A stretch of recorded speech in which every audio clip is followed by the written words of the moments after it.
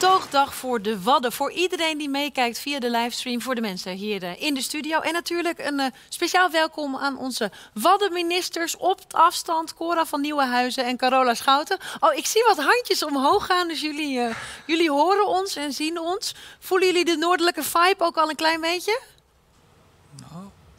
Ja, helemaal. Dat komt helemaal goed vandaag. Oké, okay, nou, super. Ja, we gaan dus helaas natuurlijk, zoals alles, ziet het er een beetje anders uit. Maar we hebben met elkaar eh, contact via het scherm. En we hebben gelukkig ook mensen in de studio. Wat gaan we doen het komende uur? We gaan allereerst praten met student Wannes over de toekomst van de Wadden voor zijn generatie, de jongere generatie. Hoe blijft het leefbaar? Verder is eh, Henk Staghouwer, bestuurslid eh, van het Waddenfonds hier, samen met de ondernemer Melle de Boer om te praten over de investeringsagenda agenda voor de regio. Arno Brok, commissaris van de Koning in Friesland, komt samen met Marco Glastra van het Groninger Landschap vertellen over de nieuwe governance voor het Waddengebied. Een nieuwe ja, overlegstructuur die alles beter moet maken. Dus dat belooft heel veel goeds. En natuurlijk is er dan ook nog die gebiedsagenda voor de Wadden 2050. Daar draait het eigenlijk allemaal om. In die gebiedsagenda wordt de koers voor de komende 30 jaar ja, uitgezet. En het is een uh, gezamenlijke koers van dus de ministeries voor infrastructuur ja, en Waterstaat en uh, Landbouw, Natuur en Voedselkwaliteit. En ook nog een groot aantal andere partijen. In totaal zo'n zo'n 50. En vandaag gaan dus al die mensen de instemmingsverklaring voor de gebiedsagenda ondertekenen. En dan wordt het dus officieel. Dan komen ze er niet meer onderuit. Dus het draait om handtekeningen vandaag. Dat straks, hoe dat er allemaal uit gaat zien, uh, ja, dat blijkt later.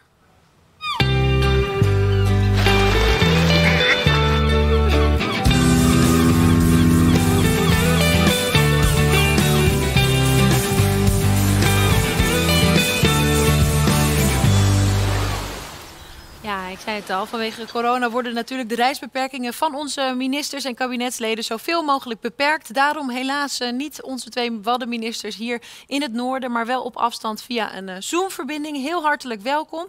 Uh, mevrouw van Nieuwenhuizen, wat heeft u zelf met het Waddengebied? Nou ja, het is natuurlijk een, een, een fantastisch uh, natuurgebied. En als ik net de beelden weer voorbij zag komen, dat zal Corolla precies hetzelfde hebben. Uh, dan krijg je gewoon ontzettend veel zin om er meteen weer naartoe te gaan. We hebben samen natuurlijk ook mooie, interessante, maar ook hele leuke en gezellige werkbezoeken afgelegd in het verleden in het mooie Waddengebied. en dat hadden we nu ook heel graag weer willen doen. maar het is, het is niet voor niks wereld erfgoed. Het is echt een heel bijzonder uh, gebied met uh, nou, 100 vogelsoorten, 140 soorten vis. Uh, waarvan er 20, ook begrijp ik, hun hele leven niet uit het gebied gaan. 400 insectensoorten. ja, behalve dat het gewoon een fantastisch gebied is om, om te varen, om te recreëren. ja, is het denk ik wel zo verschrikkelijk bijzonder. Uh, dat we daar heel trots op mogen zijn uh, en ook heel zuinig op moeten zijn. Hè. Die verantwoordelijkheid om het net zo sterk, uh, vitaal en veerkrachtig door te geven aan volgende generaties als dat wij het nu mogen meemaken, die voel ik ook wel heel sterk. Daarom is natuurlijk ook die agenda voor het Waddengebied 2050 opgericht. Maar toch even van u weten, mevrouw Schouten, nog, komt u er zelf eigenlijk vaak? Uh, wat, uh, wat, wat Cora net al zei, bij een van onze eerste werkbezoeken was volgens mij in het Waddengebied. En dat was, uh, was heel mooi om mee te maken. ik kom er privé ook graag. Um, maar ja, de laatste tijd is het natuurlijk veel minder allemaal vanwege corona helaas. Um, maar het is een prachtig gebied en het is beschermwaardig. Maar er komen ook heel veel functies bij elkaar. Um, en dat is natuurlijk ook de uitdaging voor de komende decennia eigenlijk. Van hoe zorg je ervoor dat al die functies gewoon een plek krijgen. En tegelijkertijd ook dat we dat kunnen doen door ook de natuur te beschermen, de boeren een plek te geven, de eilanden ook echt uh, nou ja, staat te blijven om ook te doen wat ze graag doen. Uh, dus ja, dat is de uitdaging en dat is denk ik ook waarom, waarom we vandaag ook uh, een, een, mooi moment markeren. waarin we die visie eigenlijk neerleggen. Wat overigens alleen nog maar een begin is. Ik bedoel, uh, er komt daarna nog uh, heel veel wat we met elkaar verder moeten doen. Maar ik geniet heerlijk van het Waddengebied en ik hoop dat we lang te kunnen doen. Mooi. Ja, die gebiedsagenda, hij komt al even voorbij. Daarin staan dus, staat dus de visie voor de komende jaren, uh, mevrouw van Nieuwenhuizen. Niet iedereen is blij met die visie. Er waren eerder deze week ook vooral boeren bijvoorbeeld en belangenorganisaties die de instemmingsverklaring niet wilden tekenen omdat ze zich zorgen maakten over de dingen die in die verklaring staan. Um, hoe reageert u daarop? Nou ja, ehm, ik vind het jammer dat ze ongerust zijn geworden, want dat is volgens mij helemaal niet nodig. Uh, we zitten op een, een heel hoog abstractieniveau in deze agenda, waar we juist met elkaar hebben afgesproken dat we die belangen van economie en ecologie goed in balans uh, willen brengen. En we hebben ook met de Tweede Kamer afgesproken dat voordat we echt concreet iets gaan doen, uh, dat we ook echt een goed impact assessment, hè, nou dat is geen goed Nederlands, maar uh, gaan doen waarbij dus blijkt van, van zo'n concrete maatregel, wat betekent het nou in de praktijk voor de verschillende sectoren? Wat betekent het bijvoorbeeld voor de pootaardappelen of wat betekent het voor de visserij? Wat betekent het voor de bevaarbaarheid, hè, de, de vaargeulen enzovoort. Al die concrete maatregelen moet je eerst kijken van wat doet dit voor alle uh, sectoren. Dan heb je het daar met elkaar over en zo kom je dan tot verantwoorde beslissingen. Ik denk dat wat hier de waarde is van wat er nu voor ligt, is dat we uh, eigenlijk een, een, hele mooie kapstok hebben. Het heet ook niet voor niks een agenda. Hè. Dat betekent dat er ook in de komende jaren nog heel veel moet gebeuren, heel veel moet worden uitgewerkt. Dat we met elkaar uh, alle partijen aan tafel hebben. En ik denk dat wij er uh, vanuit het Rijk, maar ook de partijen ehm, in de, in de nieuwe governance structuren, waar we het uh, zo meteen ook nog verder over gaan hebben, dat iedereen er veel aan gelegen is om, om alle partijen daarbij aan tafel te hebben. Want juist de kennis en de ervaring uh, van, van eeuwenlang eigenlijk in het gebied zelf, uh, die heb je heel hard nodig om, om tot echt goede plannen te komen. Want nogmaals, ons ons doel is echt het, het veilige, vitale en veerkrachtige Waddengebied voor iedereen. Ja, uh, we komen zo bij u terug. Toch eerst ook even op dat punt de reactie van u, uh, meneer uh, Brok. Commissaris van de Koning, we horen hier ook zeggen van het is van belang dat alle partijen hierbij betrokken worden. Toch hebben niet alle partijen die u eigenlijk ook wilde, die we allemaal wilden, de boel ondertekend. Is dat iets waar u dan van baat? Ja, kijk, het is het mooie uh, zou zijn als iedereen uh, zou ondertekenen. Uh, ik stel om te beginnen vast dat bijna iedereen gaat tekenen. Maar ook niet alleen de mensen die tekenen zijn van belang. Of de instellingen die tekenen zijn van belang. Ook heel veel initiatieven, groeperingen, individuen die daar buiten staan. daar verwachten wij ja, indirect support van. De agenda die er nu ligt, dat is een sluitstuk van jarenlang discussie. Uh, dat is ook niet van de een op de andere hm. dag uh, tot stand gekomen. En het is zoals de minister al zegt, we hebben nu een prachtig basisdocument. Dat is niet een statisch document, dat is een dynamisch document. En die uitvoeringsprogramma's uh, die daaruit voort gaan komen, ja, da daar gaat het pas echt over. Hoe denken wij over uh, bijvoorbeeld uh, ja, de landbouw in dat gebied? Of hoe denken wij over al die andere thema's? Daar zit iedereen bij aan tafel. Bijvoorbeeld ook LTO, wat niet gaat ondertekenen, zit heel actief aan tafel om daarover te praten. Dat vind ik ook echt bemoedigend. We hebben ook een heel actief uh, lid vanuit LTO in het omgevingsberaad uh, zitten. En die geven zelf dus ook vorm wat er in die uitvoeringsagenda moet komen. En het is per definitie inherent ook aan het gebied. Hè. Dat is 20 en 30 en 50 jaar, maar zelfs ook 100 jaar geleden niet anders geweest. Het is een gebied waar veel mensen van houden. Uh, waar je ene kant wil je dat koesteren, nu al helemaal in de tijd dat UNESCO uh, erfgoed is. Van de andere kant, je wilt er ook in leven, je wilt er ook in wonen, je wilt er ook je boterham verdienen. En al die belangen bij elkaar, het is niet het een tegen het ander. Het een kan met het ander en dat is zoeken naar een balans. Dus terug naar uw vraag. Uh, het is een tekenmoment vandaag, het is een belangrijk moment. Ik vind het ook een, een feestelijk moment, omdat het een afsluiting is van een paar jaar. Maar nu komt de inkleuring en daar vertrouw ik echt op dat iedereen daar zijn bijdrage aan wil leveren. De intenties eh, zijn er in ieder geval dus ja. ook door van al die verschillende partijen door te ondertekenen. Zeker, zeker. Meneer Staghouwer, gedeputeerde uh, van de provincie Groningen, maar ook uh, lid van het uh, Waddenfonds. Of excuses, lid van de Raad van Bestuur. Niet zomaar een lid, maar van de Raad van het Bestuur. Van bestuur, ja. Um, um, als we kijken naar die gebiedsagenda, hè, ik zei het al, daar is die koers voor 30 jaar uitgezet. We horen ook de verschillende afwegingen, de verschillende belangen die soms met elkaar botsen. Wat is wat u betreft het belangrijkste punt uit die agenda? Waar gaat het vooral om? Wat ik belangrijk vind is, uh, het is een zoektocht uh, geweest van een, een, een, groot aantal jaren. Met heel veel partijen, met een stip op de horizon. En die stip op de horizon was, en daar heeft de minister net ook wat van gezegd, is het gebied moet zich goed kunnen ontwikkelen. En dat is enerzijds natuurgebied en anderzijds ehm, de commissaris zei dat ook, eh, de economische belangen eh, die zijn groot. En eh, dat betekent dat je dat naast elkaar moet laten fungeren. Nou, dat kan, Maar dat betekent ook dat je dat met elkaar moet gaan doen. En als je dat dan benoemt in zo'n gebiedsagenda, kan dat een leidraad zijn voor toekomstige ontwikkelingen. En dat je van tevoren niet al vastlegt, dat is ook volstrekt helder en duidelijk. want het is ook een, een 30 jaar organisch op weg gaan met elkaar. Maar het betekent wel dat je elkaar vast moet houden. En daarom vind ik het belangrijk dat al die organisaties erbij betrokken zijn. En we moeten het met elkaar doen. Het is niet uh, vandaag alleen maar handtekeningen zetten. Nee, het is ook uh, vooruit de hand vasthouden met elkaar. En dat vind ik ongelooflijk belangrijk. Want het Waddengebied is veel te mooi om eh, de komende periode niet eh, te beschermen, maar ook te ontwikkelen. Nou, zo is het maar net. En uh, als we dan naar die verschillende onderwerpen kijken die spelen binnen het Waddengebied, we gaan er een paar uh, behandelen uh, deze komende minuten. maar één issue is natuurlijk hoe houden we jongere generaties ook betrokken bij het Waddengebied en hoe houden we het ook leefbaar voor de toekomstige generaties. In een workshop van het Waddenfonds en de Jong Wadden Academy zijn verschillende mensen bij elkaar gekomen, studenten ook om met elkaar over die vraag te praten. Een van die studenten is Wannes Lely. Nou, ik ben Wannes. Uh, ik kom van Texel. Ik studeer nu management van de leefomgeving uh, in Leeuwarden. Op Texel is ook beperkte ruimte. En daarom gaan we misschien nog wel meer dan in de rest van Nederland ook goed kijken van hoe gaan we die ruimte invullen. En je hebt natuurlijk heel veel belangen wat met elkaar meeweegt.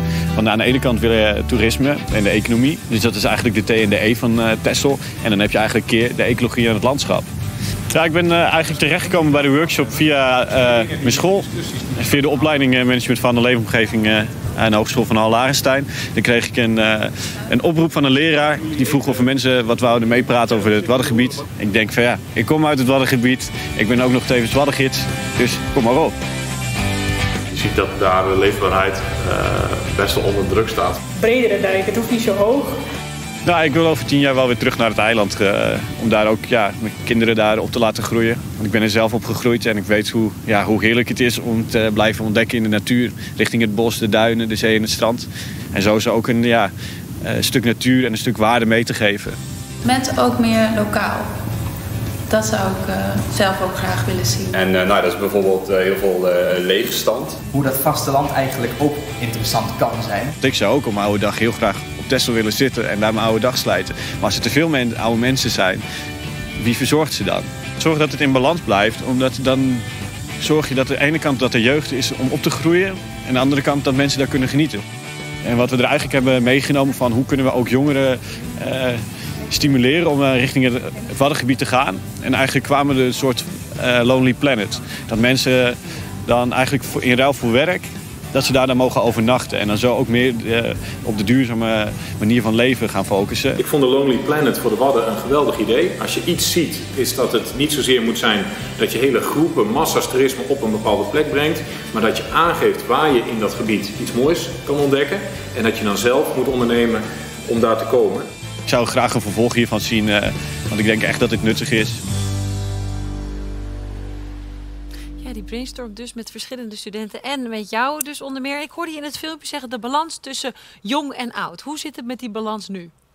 Um, die balans uh, die is er wel, maar als we kijken naar de cijfers, uh, uh, de geboorteaantallen lopen terug, in ieder geval op de eilanden. En ja, net als heel Nederland, de eilanden vergrijzen ook. Dus, en ik als student, ik heb op de middelbare school nog wel kunnen doen op Texel. En, maar ja, daarna moet ik naar de overkant om een studie te volgen.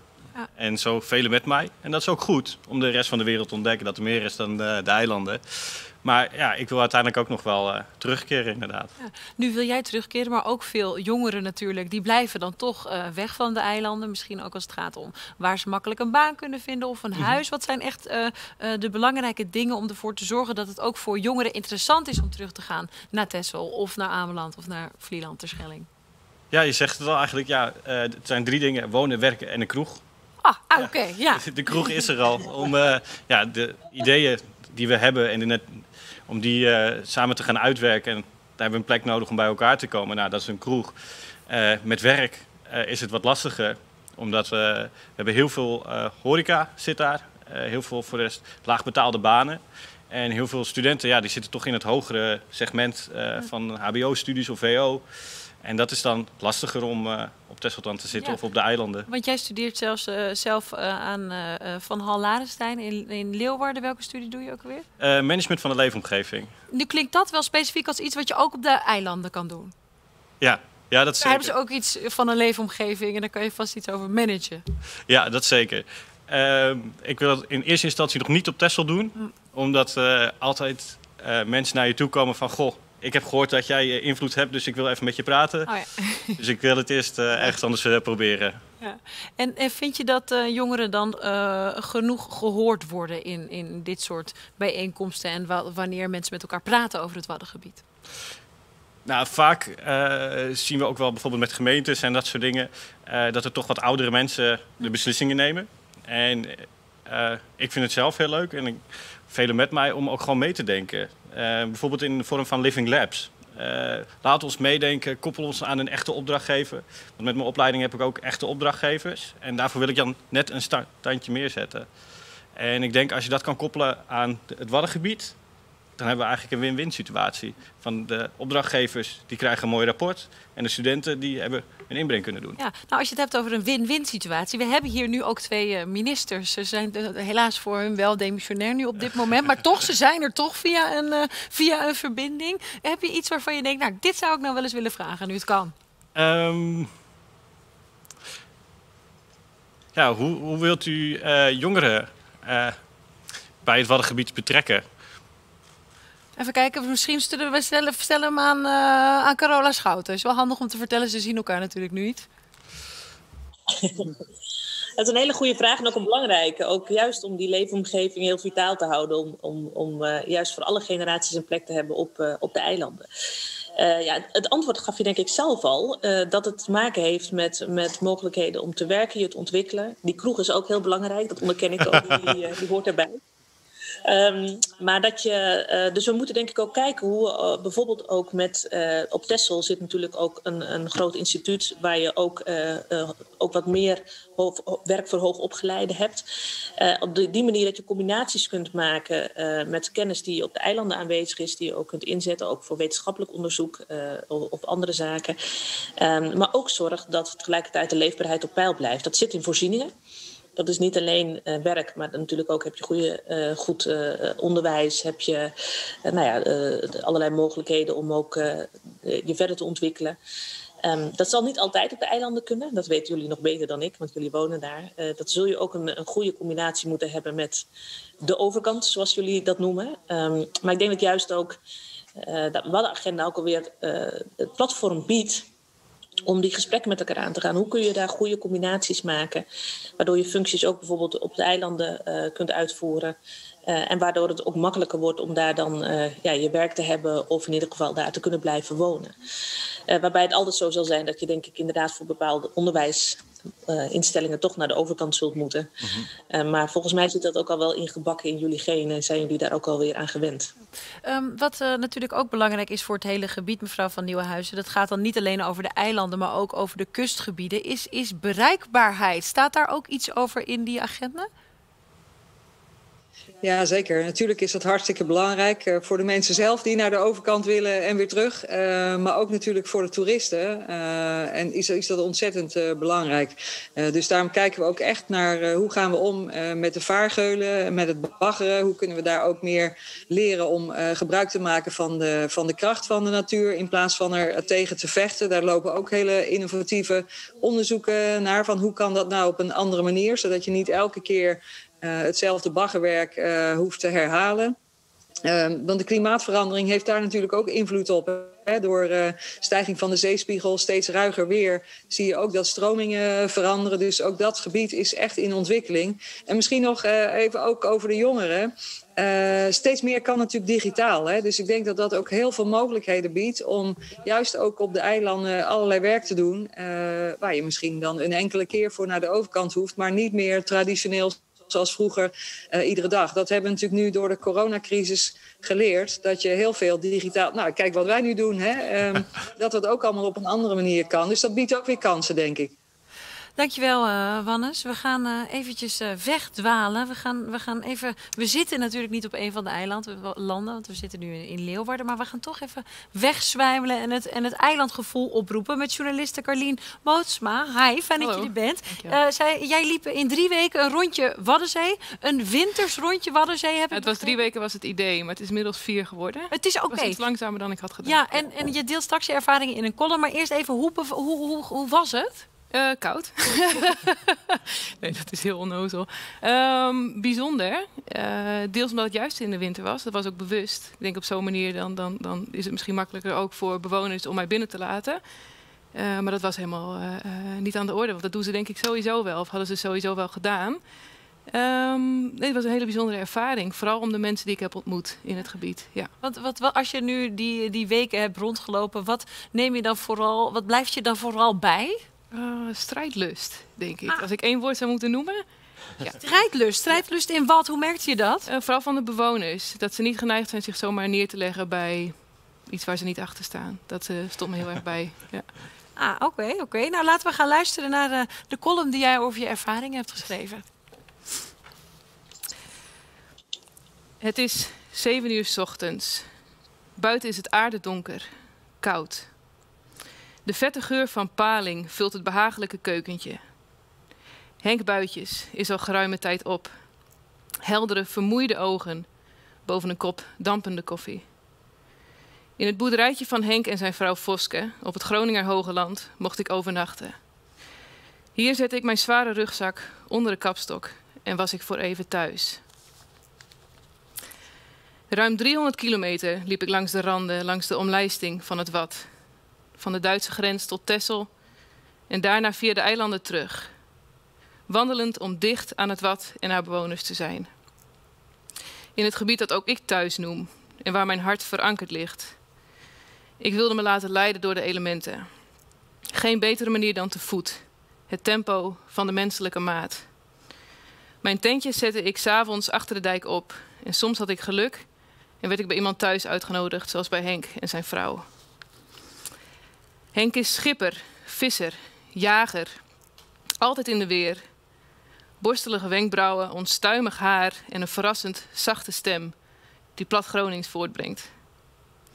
Hij is geen prater en datzelfde geldt voor de meeste mensen die ik trof tijdens mijn tocht. Aan de ontbijttafel vertelt Henk dat hij net zijn maat is verloren, overboord geslagen. De onderstroom van zijn verdriet is voelbaar Henk draagt het in stilte. Hij weet, de mens wikt, maar de zee beschikt. Wat bewoners leven met het tij, de wind, het water, het vormt ze. Zoals het gebied ook is gevormd. Bewoners bewegen mee met de elementen en berusten in wat onvermijdelijk is. Er wordt meer gedaan dan gepraat en op een woord kun je varen. Henk zet zijn koffiekopje zacht neer en legt zijn grote handen, die duidelijk veel werk hebben verzet, voor zich op tafel. Hij kijkt me recht aan en zegt: Het Waddengebied wordt bedreigd door mensen en instanties die zich bemoeien met de plek waar wij leven, wonen en werken. Terwijl we hier al generaties lang zijn. Het is soms net alsof de afgelopen 2000 jaar niet telt. Wij hebben altijd goed op dit gebied gepast. Het is een man met veel liefde voor natuur, al kent hij de gang naar de rechtbank inmiddels net zo goed als de geulen op zee. Hij strijdt voor zijn bestaan, voor hetgeen waarvan hij gelooft dat het zijn recht is: vissen. Zoals er al eeuwen wordt gevist in de Noord- en Waddenzee. De visserij staat steeds meer onder druk door gesloten gebieden, door windmolenparken, door gaswinning. Hem zul je nooit horen zeggen dat hij de zee op zijn duimpje kent ook al vissen zijn voorvaderen er al tien generaties. Hij hoeft zich niet te laten gelden. Zijn karakter is wellicht zoals hij zijn leefomgeving het liefste ziet: van een bescheiden grootsheid, ongerept en eigenzinnig en bovenal vrij. Dankjewel, Carlin. Jij vraagt draagt zo te horen inmiddels het Waddengebied een warm hart toe. En dat doen meer organisaties. En daarom heeft de agenda voor het Waddengebied dus ambities geformuleerd voor de komende 30 jaar. En afgelopen jaren ook al zijn er eh, heel veel investeringen gedaan, bijvoorbeeld door het Waddenfonds.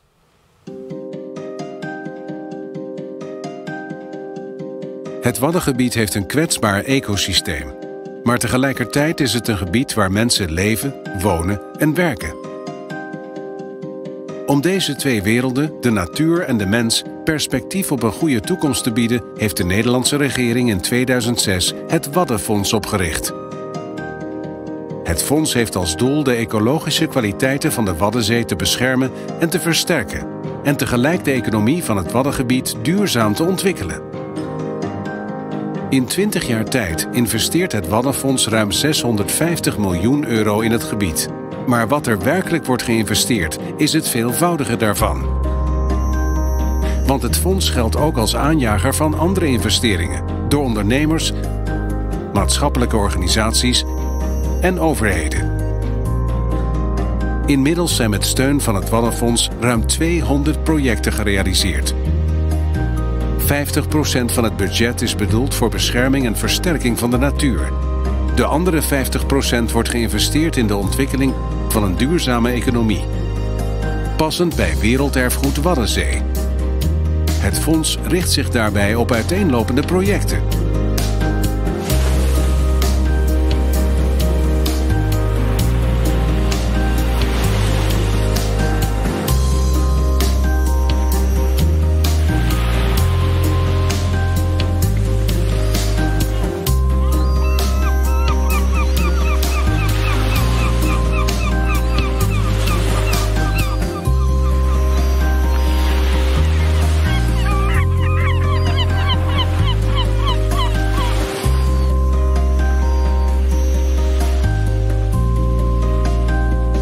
zijn een paar voorbeelden van de tientallen projecten die inmiddels worden gerealiseerd. Ook steunt het Waddenfonds kleinschalige en lokale projecten die de leefbaarheid in het gebied versterken. Er is nog zes jaar te gaan. Dan houdt het Waddenfonds op te bestaan. Tot die tijd blijft het Waddenfonds investeren in natuur en een duurzame economie.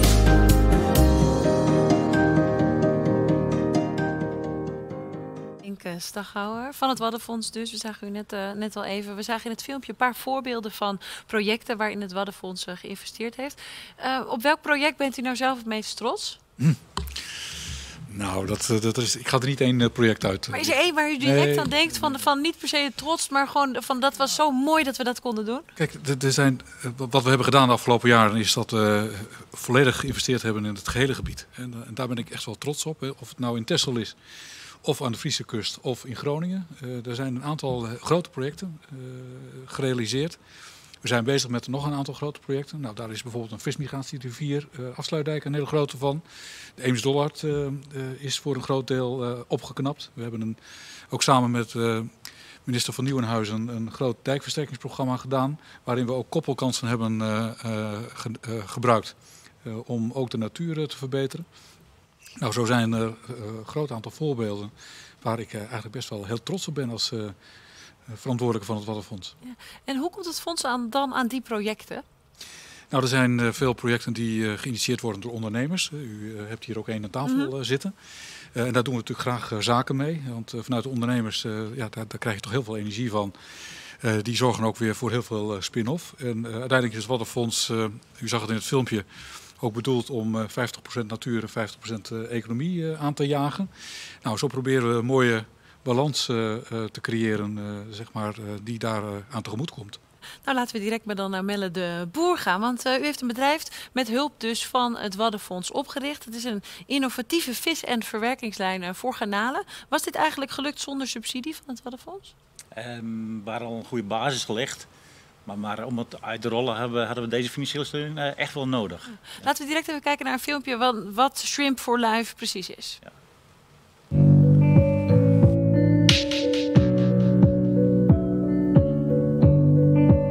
De Boer RVS zet technologie en engineering in voor de toekomst van onze zee en visserij.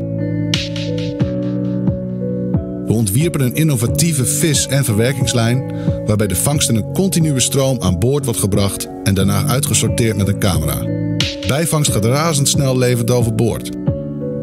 De visser heeft direct inzicht in zijn vangst, zodat hij efficiënt en effectief kan vissen. Door de sortering in drie maatsoorten wordt het assortiment uitgebreid. En dat betekent meer rendement per vangst. Jaarlijks gaan er bij de traditionele garnalenvangst miljarden kleine visjes en garnaaltjes als bijvangst dood overboord. Dat willen we stoppen. Onze verwerkingsstraat wordt uitvoerig in de praktijk getest. Het systeem is geavanceerd en snel.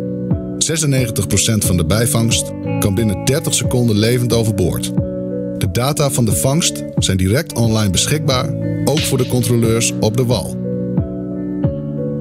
Op die manier dragen we bij aan een betere toekomst voor de garnalenvisserij, voor onze prachtige zeeën en uiteindelijk voor ons allemaal. Ja, dit klinkt als, als een vrij, vrij top idee. 96%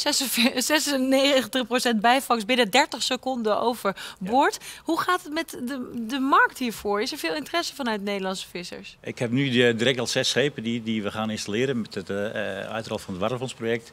En ik heb zelf 60 geïnteresseerden uit, uit, uit, heel Europa. Heel Europa, ja. En dat is dus, dat, dat is dus, dus heel, heel veel. Hoe zit het dan met uh, de ontwikkeling met dat, met dat geld? Dan, dan krijgen jullie geld. Hoe, hoe, um, hoe moet ik het even formuleren? Hoe verdient zich dat dan weer terug, zeg maar? Voor ons allemaal? Um, nou ja, het is eigenlijk een beetje uh, dat het geld gebruiken voor, voor investering in het project. Uh, wij, wij uh, we leveren de installatie, uh, die jongens die gaan daarmee vissen. En uh, ja, het rendement van de verwerking is hoger dan wat ze nu hebben. Dus dat zo verdient het zich weer terug. Ja. En kijk, de eerste zes schepen zijn, is een investering. En de volgende 60 ja, moet het mee terugverdienen. Want wat maakt dit project nou ook investeringswaardig voor jullie dan? Uh, kijk, wat je vaak ziet is, is dat het innovatieve projecten zijn. Nou, dat is dan ook een voorbeeld daarvan. Hè. Die heeft uh, vaak een onrendabele top, uh, zoals dat dan heet. Nou, en dan doen wij als Waddenfonds, financieren we dat. En uiteindelijk gaat het om een economisch project en dat moet dan ook renderen. Als het gaat over natuurprojecten is het natuurlijk een heel andere situatie. Maar waar het gaat om economische projecten, uh, en dan doen we ook geen 100% financiering. Ja, de, dat, dat, is uh, opgebouwd. En we bieden een maximale subsidiepercentage van 60%. Ja, u heeft het dan over de economie, maar ik kan me ook voorstellen dat de Waddenzee ook een groot voordeel heeft bij, bij, deze, bij dit bedrijf, of bij deze manier van vissen. Welk, welk voordeel is dat specifiek? Alles wat, wat, wat gevangen, dat gaat gewoon levend over het boord. nu is een, een groot deel van de vangst wordt nog verwerkt om het maximale uit de vangst te gaan te halen. En uh, nu is het gewoon van wat je vangt, uh, dat, dat gebruik je voor consumptie. En wat niet wordt gevangen gaat, levert overboord. En dat is voor het volgende reisje of niet. Ja. Ik kan me voorstellen dat uh, Carola Schouten, als u dit zo hoort, dat dit ook wel iets is wat, waar, waar u enthousiast van wordt. Hier word ik zeker enthousiast van. ik denk dat het ook echt een van de mooie voorbeelden is waarin je economie en de ecologie bij elkaar brengt in het gebied. We hoorden het net al in de column, maar de visserij hoort bij het Waddengebied. Dat is het al van oudsher. En dat zal het ook blijven. Um, en op deze manier kunnen we zorgen dat die visserij ook in stand blijft, dat er een goede boterham voor wordt verdiend. In de garnalenvisserij is dat best op dit moment een, een issue. Uh, dus dan helpen dit soort innovaties ook om, om te zorgen dat ze dat kunnen blijven doen. En tegelijkertijd is het ook goed voor de natuur, want inderdaad die bijvangst, die kleine garnaaltjes, uh, die gaan terug. En uh, die kunnen inderdaad ook weer nou ja, groeien en, en ook weer dus voor de volgende trek dan ook weer gevangen worden als ze, als ze groter zijn gegroeid. Maar het is ook goed voor de natuur. Op die manier hou je ook de genalenstand in de, in de Waddenzee ook op, op peil. En ik denk dat we juist dit soort voorbeelden nodig hebben. En ik ben ook heel blij dat het Waddenfonds daar ook in geïnvesteerd heeft. Ja. Om te zorgen dat we die combinatie, die functies bij elkaar kunnen blijven houden in dat gebied. Dat is een mooi, mooi voorbeeld dan van zo'n innovatie. Kun je nou zeggen dat er de afgelopen uh, jaren meer geïnvesteerd is? Uh, en hoeveel meer dan, dan de jaren daarvoor, dank, dankzij het Waddenfonds? Ja, we hebben de afgelopen jaren echt ons best gedaan om uh, het op een goede manier te besteden. Het Waddenfonds is gedecentraliseerd, zoals dat heet, sinds 2012. En we hebben de afgelopen jaren stevig ons best gedaan. Mm. We hebben voor de komende jaren nog een 170 miljoen euro op de plank liggen. Dus ehm, nou, er is nog heel veel mogelijk, zou ik zeggen. Maar op de plank liggen en dat is allemaal dus nog niet uitgegeven. Dus de nee. mensen met een goed idee die kunnen denken, oh, die dat kunnen bij u aankloppen. Dat is ook de oproep die ik hier doe. Oké, okay. dus, dus nou, super. Wat, wat ons betreft, uh, kom graag met goede ideeën. En dan zijn dit soort innovatieve dingen uh, zijn fantastisch. Want waar moet zo'n idee nou aan voldoen? Dan ga ik even nadenken zelf ook. Nou ja, kijk, wat ik net heb gezegd. Kijk, het moet voldoen natuurlijk aan, uh, aan de vier pijlers van het, van het Waddenfonds. Het moet uh, duurzame uh, ecologie, duurzame economie kunnen bedienen. En het moet toekomstbestendig zijn voor, het, voor het Waddengebied. Nou, als al die, aan al die pijlers wordt voldaan, dan gaan wij gewoon besteden. En we hebben ook het afgelopen jaar ons best gedaan om het zo bereikbaar mogelijk te maken. Dus we willen echt meedenken. Ja, en wanneer gaat de Shrimps for Life, wanneer, wanneer zien we alleen maar nog dat soort kotters varen? Ja, ik heb wel een doel gesteld, zes, zes jaar. En dan? Nou, dan wil ik toch 80% van de markt uh, hebben voorzien. Ja. Dat, is, een goed, uh, goed streven. Nog heel even, we hoorden ook in het filmpje, hè, het Waddenfonds gaat wel de laatste zes jaar in. Nou, we horen ook hoeveel geld er dan toch nog wel beschikbaar is. Maar wat daarna? In hoeverre kan dan het Waddenfonds nog die verbinding maken met die gebiedsagenda die we hier vandaag ook met z'n allen uh, ondertekenen? Ja, dat weet ik niet. Dat is, natuurlijk uh, koffiedik kijken. We hebben ons voorgenomen, dat is ook de opdracht die we in het verleden hebben meegekregen, om tot 27 uh, dat geld uh, te besteden op een goede manier het Waddengebied. Er lopen, er zijn nog heel veel kansen natuurlijk. Mm. Want als je kijkt naar dit soort initiatieven, maar ook naar bijvoorbeeld de duurzame havens, de duurzame visserij. als we het Waddengebied echt de toekomst bestendig willen maken, dan moeten we echt daarop inzetten. En daar wil het Waddenfonds ook ja. aan besteden. Ja. Um, dan uh, gaan we een manier om dat te, te doen, daarvan om zeg maar, de boel goed met elkaar te verbinden, is ook die nieuwe governance. Dat is dus een nieuwe overlegstructuur waardoor uh, mensen makkelijker met elkaar, partijen makkelijker met elkaar kunnen over, overleggen. En daar gaan we even naar kijken hoe dat er in de praktijk uitziet. De Waddenzee, UNESCO Werelderfgoed. Hoe beschermen we met ons allen dit unieke natuurgebied? En zorgen we samen voor een duurzame toekomst van het kwetsbare ecosysteem, maar tegelijk ook voor de mensen die rond de Waddenzee wonen en werken. Het is de belangrijkste opdracht voor de nieuwe governance van het Waddengebied. De nieuwe agenda voor het Waddengebied 2050 dient daarbij als basis. Deze agenda wil de komende 30 jaar een veilig, vitaal en veerkrachtig Waddengebied realiseren om zo de gevolgen van klimaatverandering op te vangen, de economie op een duurzame manier te laten excelleren, het gebied voor de inwoners optimaal leefbaar te houden en natuur en landschap zo robuust te maken om nieuwe ontwikkelingen als zeespiegelstijging goed op te vangen.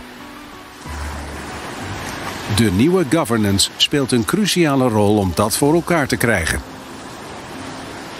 De governance bestaat uit drie onderdelen die onderling nauw met elkaar samenwerken en elkaar aanvullen.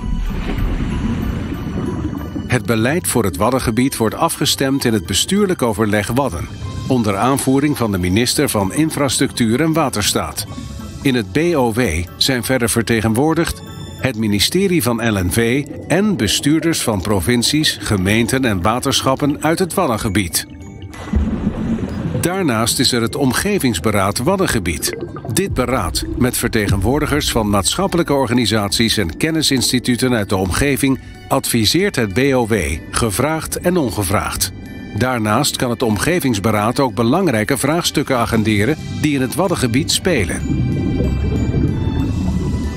Als derde is er de Beheerautoriteit Waddenzee, die zich inzet voor integraal beheer van de Waddenzee op het gebied van natuur, visserij en water. Dit doen zij in opdracht van het ministerie van LNV en INW en de drie Waddenprovincies Noord-Holland, Friesland en Groningen. De beheerautoriteit werkt daarvoor intensief samen met diverse beheerders die samen het beheerderscollectief Waddenzee vormen. Hun belangrijkste doel is het verbeteren van de natuurkwaliteit van de Waddenzee. Deze drie vormen de nieuwe governance Samen zijn ze verantwoordelijk voor een veilig, vitaal en veerkrachtig waddengebied. Nu en in de toekomst.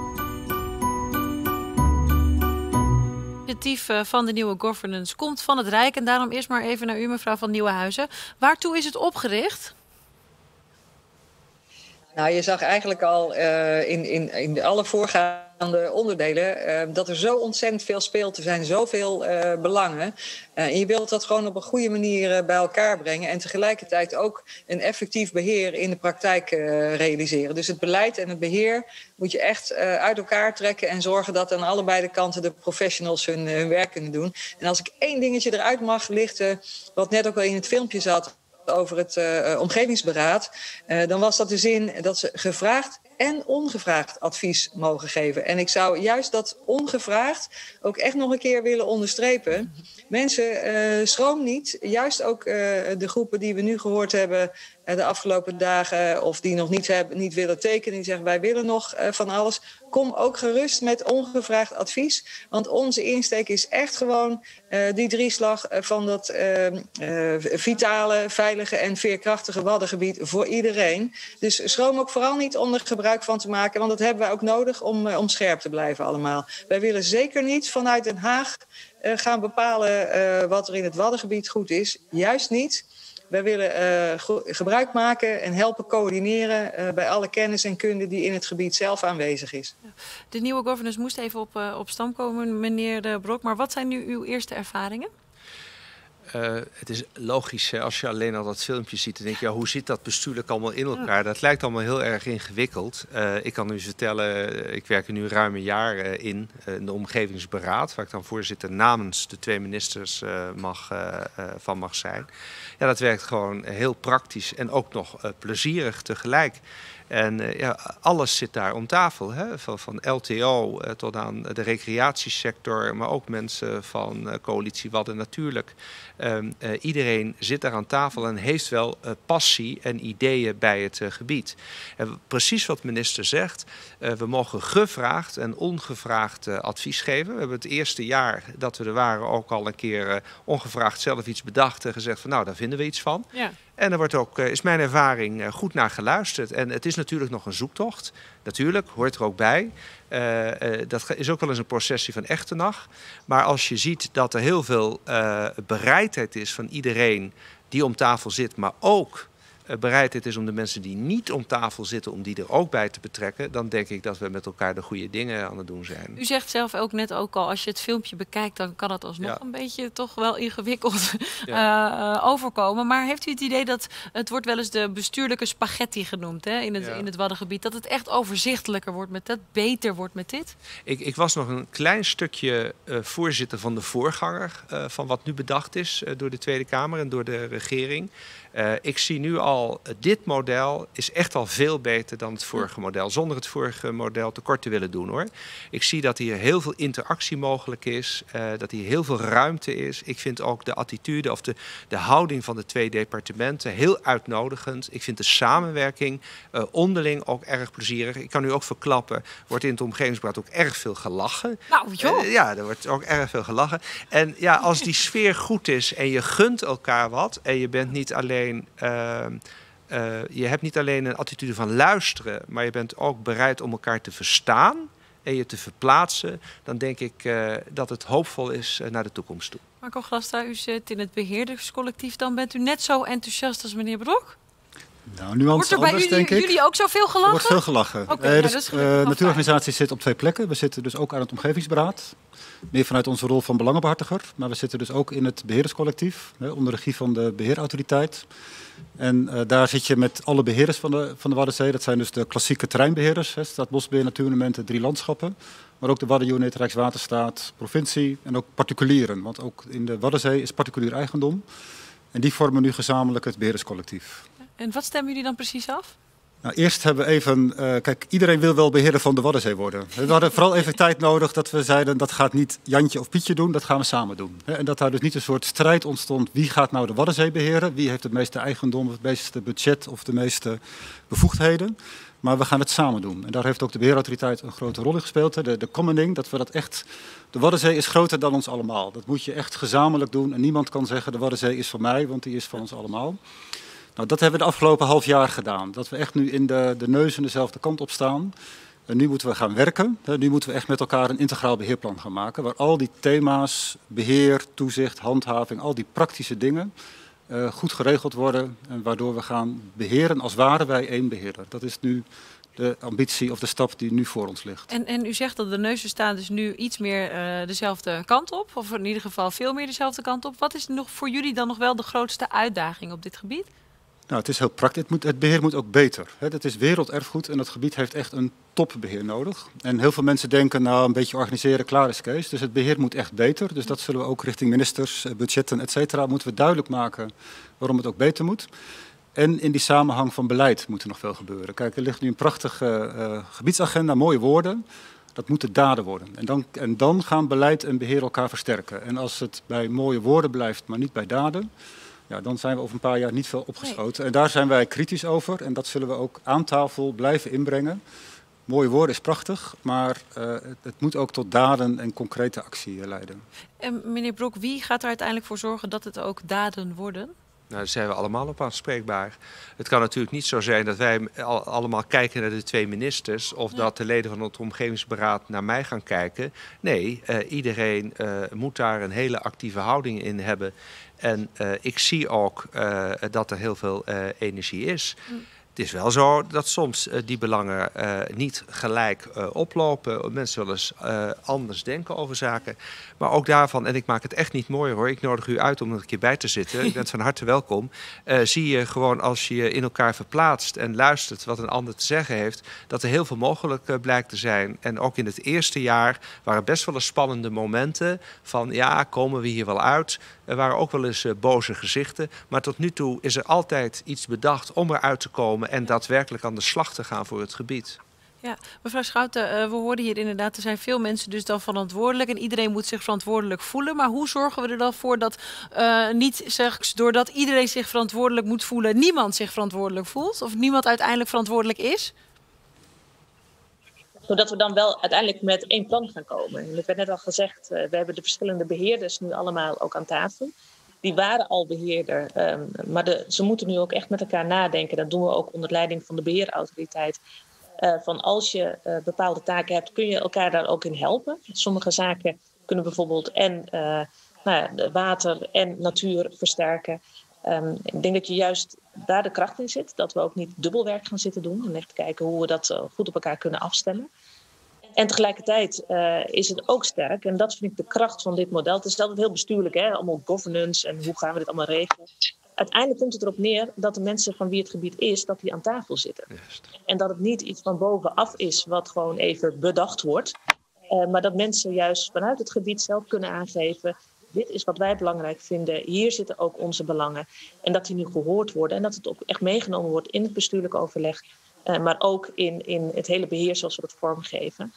En als we dat uh, nog een grotere zwengel willen geven, en ik weet dat de heer Brok daar ook heel veel werk voor verricht, uh, dan denk ik dat, dat het gebied echt gewoon nog meer tot bloei kan komen dan dat het nu al doet. Dat is denk ik wat veel mensen, mensen willen. Dat, want ik hoorde u ook al echt enthousiast zeggen. Juist, dat moet, daar moeten we voor zorgen. Maar mevrouw van Nieuwenhuizen, we hoorden ook net in de column van Carlien... dat de bewoners zelf, dat die het idee hadden... ja, heel veel partijen die willen iets over ons zeggen... maar wij passen al jarenlang goed op dit gebied. Hoe uh, gaat u er dan voor zorgen dat zij ook daadwerkelijk betrokken worden? Dat zij echt aan tafel zitten of echt de vrijheid voelen... om zich daar dus tegenaan te bemoeien? Nou ja, door ze voortdurend uh, te blijven uitnodigen. Hè. Vandaar dat net ook mijn oproep uh, voor het omgevingsberaad. Uh, schroom niet, trek daar aan de bel, ook al zit je niet zelf bij al die overleggen. er zitten genoeg aanspreekpunten, hè, mensen in die er wel in zitten. En, en laat, je, laat je opvattingen horen. En ik begrijp ook heel goed het gevoel van, het moet niet bij woorden blijven. Hè. Nou, dan kan ik alleen maar zeggen, collega Schouten en ik komen allebei uit de stad van geen woorden maar daden. Uit het Rotterdamse. dus, dus ook aan aan, ons eh, zal het niet liggen om ook de goede ideeën die er zijn ook, ook om te zetten. Hè? Want als ik nou even terugkijk wat ik in mijn uh, periode nu wat we hebben meegemaakt, die vreselijke uh, ramp met de MSC Zoe, uh, de komt. ik denk dat dat nou een van de weinige positieve dingen daaraan was de, dat het liet zien hoe ontzettend saamhorig de mensen in het hele gebied zijn. En uh, hoe daar ook allerlei opruimacties uit zijn ontstaan. Ehm, nou ja, de, de vissers met Fishing for Litter, hè, die tot op de dag van vandaag nog allerlei rotzooi uit het water vissen. Er wordt nog steeds hard gewerkt om, nou, om, om nog meer troep op te sporen en het gebied weer schoon te krijgen, zo goed en zo kwaad als het kan. Ik denk dat dat echt laat zien dat mensen hebben het gebied in hun hart zitten. En, en ze willen zich daar ook heel graag voor inzetten. En dan is het aan ons de kunst om dat allemaal bij elkaar te brengen, zodat alle goede bedoelingen van iedereen ook daadwerkelijk kunnen worden omgezet uh, in die daden. Ja, in een goede balans tussen economie en ecologie. Marco Glastra, ik begreep wat we, wat we hier horen, een saamhorigheid en ook al samenwerking. Ik begreep dat jullie daar ook dan ervaring mee hebben, dat jullie zelfs nu al bootjes en dingen met elkaar uitwisselen, dat dat, heel goed Heel praktisch. Kijk, we hebben een beheerder in de Dollard, dat is een landrot, en de Waddenunit vaart op de Dollard zelf. En die zijn nu bij elkaar aangemonsterd. Hè. Dus zo praktisch, onze beheerder heeft zijn diploma gehaald. En daardoor kan de Waddenunit veel meer uren maken, dus zo praktisch kan het zijn. En nog even over die balans, dat vind ik toch wel goed om te zeggen. Kijk, die hoofddoelstelling natuur, dat vinden wij heel belangrijk. Dat betekent ook dat een aantal zaken niet kan in de Waddenzee. En dat de zaken die wel kunnen zich moeten verhouden tot die hoofdfunctie natuur. En dat is vanuit de natuurorganisaties wordt dat erg belangrijk gevonden. Uh, dat we dat ook in de praktijk gaan brengen. En dat, dat is uh, waar we ook vooral nu de komende jaren aan willen werken. Dus die hoofddoelstelling is verankerd, maar dat betekent dat een, een, aantal dingen ook gewoon niet kan en de dingen die wel. We zijn toch te gast in het werelderfgoed Waddenzee en zo moeten we ons gedragen. En alles wat zich verhoudt tot die hoofdfunctie, prima. Maar dingen die daar strijdig mee zijn, daar moeten we ook zeggen, dat kan dan misschien ook niet of dat moet echt anders. Dat is het discussie die we de komende jaren met elkaar uh, gaan voeren. Ja, en ook een discussie uh, waar uh, afwegingen moeten worden gemaakt. En die zijn dus ook gemaakt in de agenda voor het Waddengebied 2050. Zometeen gaan we alle mensen die hierbij betrokken zijn, gaan die instemmingsverklaring voor die gebiedsagenda ondertekenen. Ehm, er zitten al 19 projecten in die agenda en een van die projecten is green shipping. En we gaan even kijken naar een filmpje daarover. Want uh, het idee is om dus de hele Waddenvloot CO2-uitstoot uh, de komende 10 jaar met 60% terug te brengen. De Ecolution is het eerste schip dat binnenkort op waterstof over de Waddenzee gaat varen. Het zeiljacht van voormalig astronaut Wubbo Okkels wordt daarvoor in Lauwersoog omgebouwd. Als ambassadeurschip moet de Ecolution laten zien dat varen op groene energie technologisch binnen handbereik ligt. De komende tien jaar moet een groot deel van de Waddenvloot volgen. We hebben goed gekeken wat vaart er allemaal op het Wad. En dat zijn natuurlijk een, vloot aan visserschepen. Dat is een aantal rondvaartschepen. Uh, dat zijn havenschepen.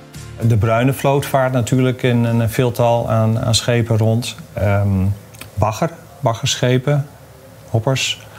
Uh, zo hebben we een hele vloot uh, bekeken. Daar zijn ook allemaal ondernemers erachter die zeggen van... nou, wij willen wel graag uh, erbij zijn. Wij willen graag die schepen ontwikkelen. En dat gaan we met ze doen de komende jaren. Het draagvlak in het Waddengebied voor green shipping is groot. De zes Waddenzeehavens werken intensief samen met een groot aantal andere partijen... waaronder grote bedrijven als Engie en Ecos... maar ook bedrijven uit de Waddenregio. Het uiteindelijke doel is een volledig fossielvrije vloot. De eerste stip op de horizon is 2030. Dan moet de CO2-uitstoot 60% zijn verlaagd. 60% is haalbaar. Aan de andere kant hebben we ook verplichtingen. want het is niet zo dat wij het bepalen. Maar wil je meegaan in, in de internationale regelgeving... Ja, dan moet je ook in 2030 aantoonbaar bijvoorbeeld al de helft gereduceerd hebben van de eh, CO2-reductie ten opzichte van 2008. Wij doen daar 10% bovenop. Want dat we zeggen, ja, een werelderfgoed verdient dat ook. Uh, dus ambities liggen hoog. De eerste vier jaar wordt in pilots de vergroening van de verschillende scheepstypes getest en hoe schepen in de havens groene brandstof kunnen bunkeren. Zo is in deze binnenhaven van Den Helder de bouw van een bunkerstation voor waterstof gepland. Het havenbedrijf van Den Helder beschouwt green shipping als een cruciale gamechanger voor de toekomst van de haven. Uh, van green shipping, nou voor ons is de belangrijkste ambitie is het verduurzamen van, uh, van onze haven. Uh, we zijn een Waddenzeehaven, dat is ambitie 1. Verder zien we natuurlijk in de wereld dat de schepen steeds ook allemaal op zoek zijn naar vergroening van, van de scheepvaart. En wij willen daarmee uh, daaraan bijdragen. En als we daaraan niet bijdragen, dan prijzen we onszelf natuurlijk ook een beetje uit de markt. En we willen uh, mede met het Green Shipping programma natuurlijk ook daarin uh, een rol gaan vervullen en koploper zijn op dat gebied. In de eerste fase is er voor de uitvoering van Green Shipping 26 miljoen euro beschikbaar. Afkomstig van onder andere het Waddenfonds, de Waddenprovincies en het bedrijfsleven. De Waddenzeehavens zien het project als een unieke kans voor een duurzame economische ontwikkeling. Als je kijkt naar dit, dit soort maat havens en je kijkt naar heel Europa, dan zie je dat deze havens het alleen maar goed doen als ze een specialisatie ontwikkelen. En als ze daarin uh, de verduurzamingsslag maken. Dus eigenlijk uh, tot de top gaan behoren. De grootste uitdaging voor het hele programma is als je gebruik gaat maken van waterstof, dat je natuurlijk ook straks de beschikbaarheid hebt over waterstof. En dat die waterstof die je dan straks gaat inzetten ook betaalbaar is. Dat is de grootste uitdaging. Voor de grote scheepvaart op zee en oceaan zijn er al initiatieven voor vergroening. Maar voor de binnenvaart en getijdengebieden nog nauwelijks. Al die havens die zitten allemaal met het vraagstuk van hoe kunnen wij nou zorgen dat we uh, uh, fossielvrij gaan varen. Kijk alleen maar naar de Duitse en de Deense Waddenzee, maar er zijn veel meer deltagebieden waar havens zijn. En dat speelt heel vaak dat in die ondiepe gebieden dat je daar een kleiner maatschip nodig hebt. Getijdengebieden, zoals hier, die komen veel meer op de wereld voor. Dus um, door je te richten op dit segment kan je ook echt een wereldspeler worden.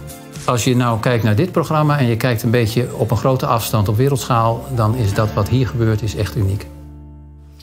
Harm Post staat inmiddels ja, ook door coronaredenen een beetje op afstand. Maar we horen u goed. Directeur van de haven Lauwers Oog. U gaat alle Waddenzeehavens vertegenwoordigen in het omgevingsberaad Waddengebied.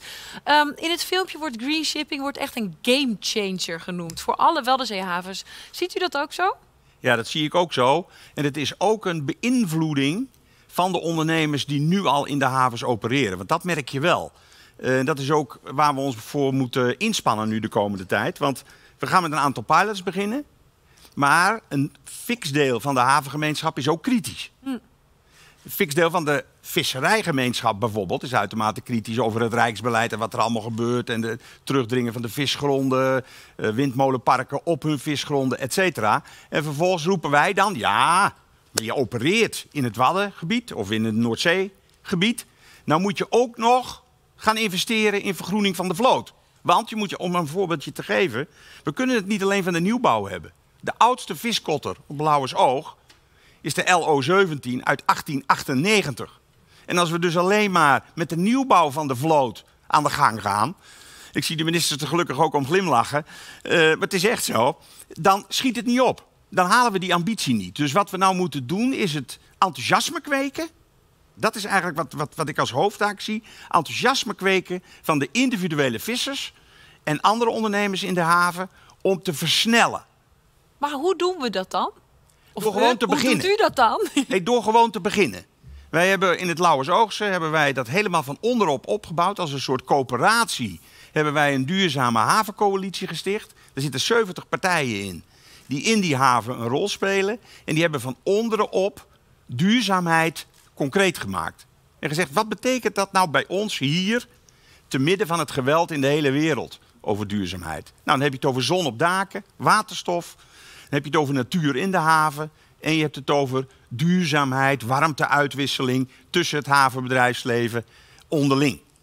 Maar zijn dan de mensen daar bij u in de haven daar dan voor dit soort projecten een beetje enthousiast te krijgen? Ja, en daar ben ik dus heel erg trots op. Er zijn er een paar ondernemers, dat zul je in elke haven hebben, die steken dan hun vinger op. Die realiseren zich, Lauwerse oog, ligt niet alleen aan die mooie Waddenzee, aan dat werelderfgoed, maar ook nog ingeklemd tussen twee nationale parken. Namelijk Schiermonnikoog en Dark Sky Park Lauwersmeer. En het is jammer, de hele corona-situatie heeft dat uh, gedwarsboomd. Want eigenlijk zouden onze beide ministers, die zouden op de Ecolution van Wubbel Okkels in Dark Sky Park Lauwersmeer overnachten, dames en heren. De afgelopen nacht zouden ze daar overnachten. Niemand wist dat. Ik mag het, de nacht is voorbij, dus ik kan het nu wel zeggen. Maar daar zie je dus dat die waarde van zo'n gebied door toeristen ook steeds anders en meer gewaardeerd wordt. Ja, maar is eh, zoals zo'n filmpje wat we net dan zien hè, van green shipping, is daar dan specifiek belangstelling voor bij u in de haven? Ja, want we zijn dus begonnen met drie schepen: Ecolution, Viskotter, rondvaartboot. En wat zie je? Bestaande vissers haken aan. Kan ik meedoen? Bestaande rondvaartbedrijven haken aan. De Rijksrederij, die de 100 schepen van het Rijk beheert, wil meedoen. En daar zijn we dus nu mee bezig, met diezelfde FME, waar we Leo van den Burg net uh, gezien hebben, zijn we mee bezig om een volgend project te gaan doen en dus op te schalen. Ik heb trouwens daarover, als het mag, wel een vraag aan de beide ministers. Want het kritische pad gaat nu worden de regelgeving rond het gebruik van waterstof. Qua tanken qua laden en qua varen op. En ik zou een dringende oproep aan de beide ministeries willen doen om ervoor te zorgen dat in Europees verband, maar ook in internationaal verband, via de International Maritime Organization, regelgeving tijdig op orde te hebben, zodat dat niet het kritische pad gaat worden. Nou, we kunnen direct even een eh, reactie gaan vragen. Want het ministerie eh, van Infrastructuur en Waterstaat moet daar volgens mij dan een rol in gaan spelen. Mevrouw van Nieuwenhuizen, hoe reageert u daarop? Nou, ik, ik, kan alleen maar zeggen dat we alles uit de kast zullen trekken om uh, deze initiatieven ook uh, vooruit uh, te helpen. Ehm, we hebben gelukkig ook een, een zetel in IMO, hè, in de Internationale Maritieme Organisatie. Dus internationaal zetten we het op de kaart. we hebben natuurlijk ook goede contacten met onze Frans Timmermans, de eurocommissaris, die natuurlijk ook daar met de Green Deal bezig is. Ik heb met hem ook uitdrukkelijk ook over de Green Deal voor de scheepvaart gesproken ook hebben ingezet. En wij hebben natuurlijk ook vanuit het ministerie nog uh, aanvullende subsidieregelingen. Bijvoorbeeld voor die motoren, of het nou uh, retrofit is of, of, of, helemaal nieuw. Hè? Want je hebt het dan toch over motoren die toch al gauw een, een 40 jaar afschrijvingstermijn hebben. Dus dat, dat, dat gaat ook om, om grote bedragen. Dus we denken er heel graag uh, in mee. En uh, ik vind heel, uh, ben hier erg enthousiast over. Je hebt natuurlijk ambitieuze havens en ambitieuze, ambitieuze werven nodig. gecombineerd met een, een drive voor die energietransitie. Hè, waarbij natuurlijk waterstof in het noorden ook echt met, met, nou, met volle kracht wordt opgepakt. Dus als daar ergens nog hiccups zitten in wet en regelgeving, dan trek ook bij ons aan de bel. en dan zullen we graag samen optrekken. Want toch, toch nog even, meneer Post, 60% in 2030 CO2-reductie. Dat is wel echt ambitieus. U noemde net ook toch de kritische geluiden die u vanaf, uh, vanuit de havens hoort. Is het dan niet te ambitieus? Nee, want uh, het punt is, je moet gewoon beginnen. Okay. Dus je moet niet proberen aan de voorkant die hele discussie te slechten. Dat gaat je namelijk niet lukken. Maar op het moment dat je begint en de visserman zegt in de kantine op zaterdagmorgen tegen de andere visserman: dit moet je doen, want de kostprijs is even hoog en je onderhoudskosten zijn veel lager. En je hebt een toekomst, een license to operate verdient voor de toekomst, voor het gebied waar je in de toekomst wilt blijven vissen. Dat overtuigt. Nou, dat, dat belooft veel goeds dan. Ja. Wat, wat een pleidooi. Heel fijn. We zijn bijna gekomen tot het moment uh, van, de, uh, van de ondertekening van de instemmingsverklaring. Van de agenda voor het Waddengebied 2050. Maar ik ben toch nog wel heel even benieuwd, mevrouw Schouten en mevrouw van Nieuwenhuis. Ik kan niet anders dan naar jullie zitten te kijken en denken: behalve fantastische vrouwen. Jullie zijn ook demissionair. En over zes weken zijn er verkiezingen. Nu hebben we allemaal fantastische plannen tot 2050. Maar straks zit er weer een nieuw kabinet. Straks wordt er geformeerd. Hoe, mevrouw Schouten, gaat u er nou voor zorgen dat als er straks een nieuw kabinet zit dit niet allemaal toch weer overboord gaat? Omdat dit gewoon de beste plannen zijn die we gewoon kunnen maken. dat is, uh, we hebben, nee, we hebben uh, in het vorige regeerakkoord, daar zat ik toevallig bij toen dat werd opgesteld, hebben we ook gezegd, er moet gewoon ook een betere structuur komen bij de Waddenzee, want het was inderdaad nogal een bestuurlijke spaghetti, zoals dat wordt genoemd. Um, en ook te zorgen dat daar dus ook de plannen ook ja, veel meer tot wasdom kunnen komen. Nou, daarom zitten we hier ook vandaag. we hebben daar een structuur neergezet, dat is net gehoord, maar een structuur is niks zonder zonder dat we gewoon de plannen gaan realiseren die er ook uh, in zitten. Dit is, um, um, uh, dit is goed voor alle uh, sectoren, alle betrokkenen in, in het Waddengebied.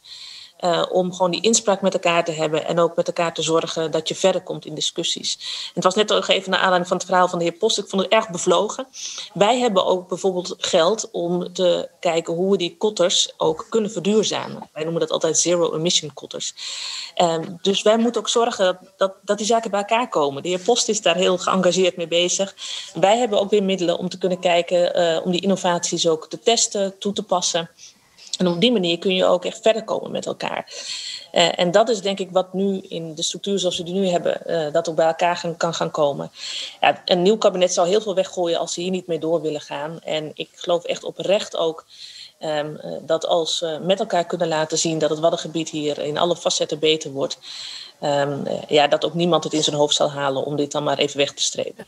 Nou, uh, laten we dan uh, hopen dat ze dat dan ook zo zien, het eventueel volgend kabinet. Maar in ieder geval kunnen ze niet om alle handtekeningen die vandaag worden gezet heen. En dat zijn er nogal, want dat zijn dus niet alleen van uh, beide ministers, maar dat zijn ook van de drie Waddenprovincies, van beide, beide heren hier. Maar ook nog meer dan 50 andere organisaties doen mee. En het is bijna tijd om dus die hele agenda te gaan bekrachtigen met een handtekening. Maar nog niet, voordat we nog even contact hebben gelegd met alle ja, vertegenwoordigers van al die partijen die dus meedoen en die ook een handtekening zetten. En daar wil ik toch even twee uitpakken. namelijk Leo Pieter Stoel, de burgemeester van Ameland. Uh, u als voorzitter van het samenwerkingsverband Waddeneilanden zet straks namens alle handtekeningen, of namens alle eilanden een handtekening.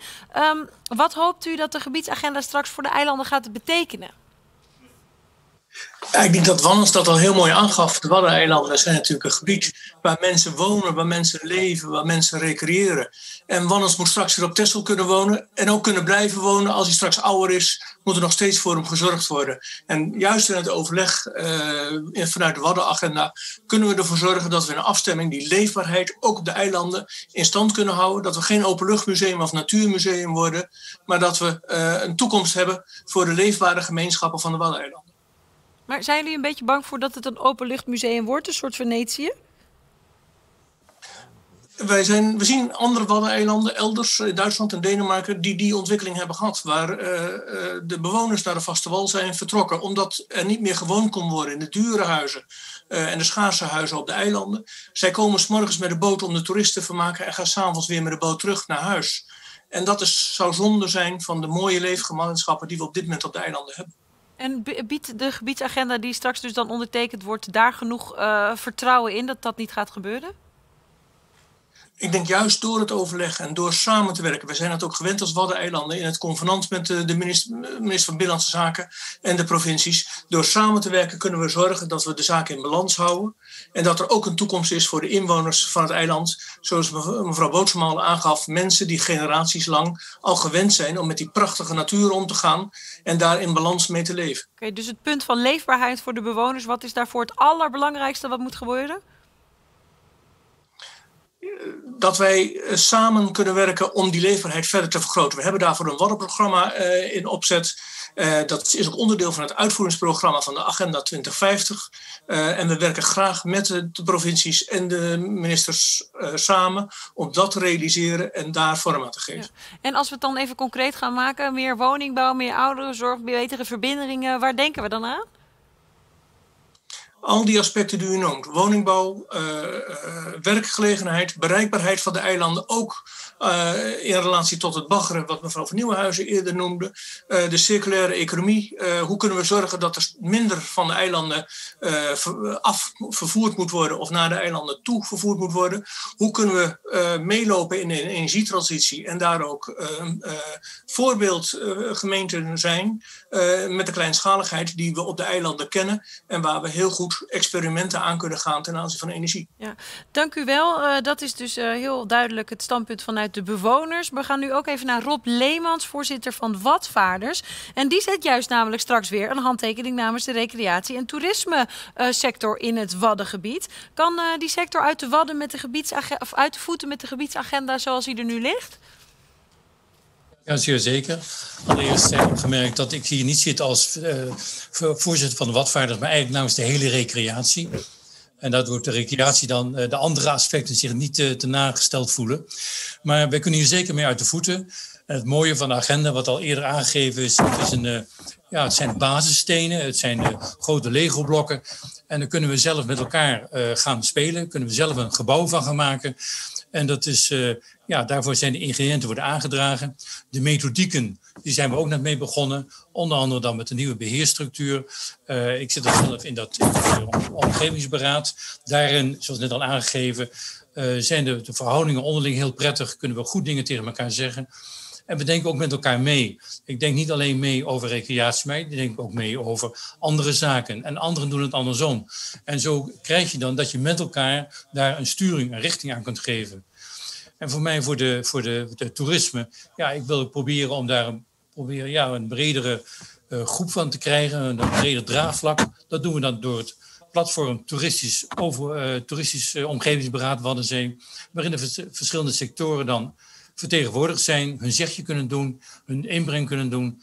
En dat wij vandaag ook kijken van, moet het naar het OBW of is het iets meer voor de beheergroep en dat het misschien een andere aftakking moet hebben. Dat moet niet het probleem zijn van de recreatieinstantie of de sector, maar dat moet een ons probleem zijn. En ons doel is gewoon proberen daar met elkaar goede richting aan te geven. Met die gebiedsagenda in de hand. En we zeggen, oké, we gaan die kant uit, maar we moeten het wel met elkaar doen.